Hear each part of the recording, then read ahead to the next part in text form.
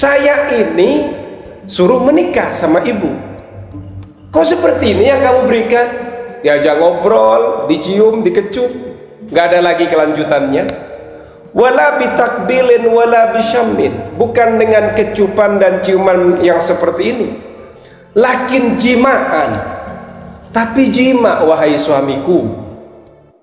Assalamualaikum warahmatullahi taala wabarakatuh.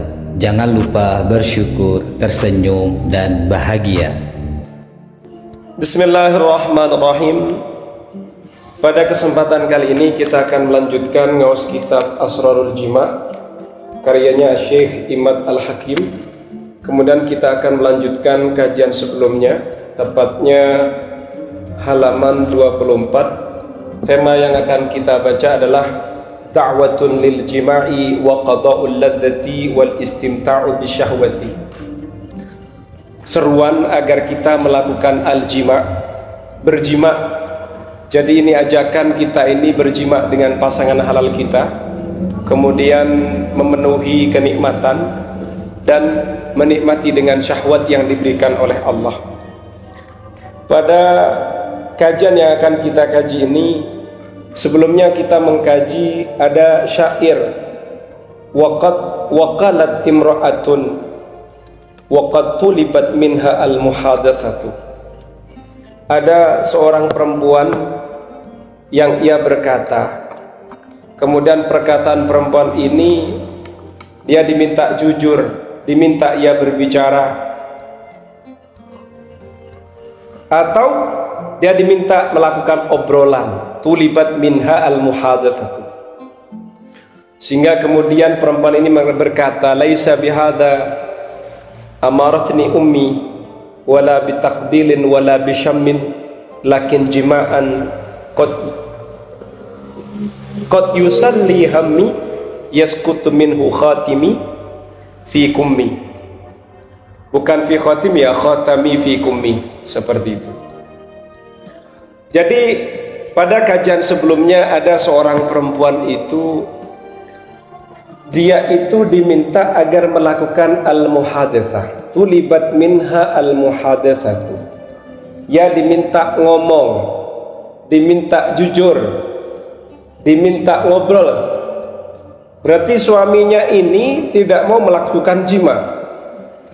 Waqalat imra'atun waqad tulibat minha al-muhadatsatu ada seorang perempuan yang mana perempuan ini sama suaminya cuma diajak ngobrol. Dinikah kobil tu nikahaha diajak ngobrol. Mentok-mentok cuma dikicup, dikecup dan dicium. Akhirnya keluar kejujurannya. Apa yang ia katakan? Laisa bihada amaratni ummi.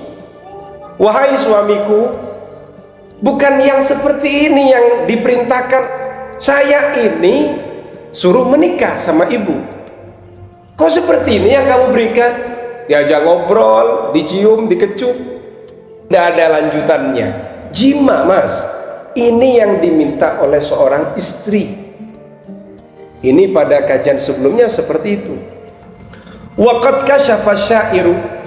Ada seorang penyair menyingkap mengurai kama qala Ibnul Qayyim sebagaimana yang dikatakan Ibnul Qayyim an sabab bidzalika tentang penyebab hal itu haitsu yaqulu di mana ia berkata lau sabba sabbun ilfahu alfan lama ajda wa zadat lau'atun wa gharamun. Andai saja seorang suami seorang suami yang masih muda. Ya toh? Dhamma ilfahu. Ia mendekap kekasihnya. Ia mendekap istrinya. Lama ajda niscaya dekapannya.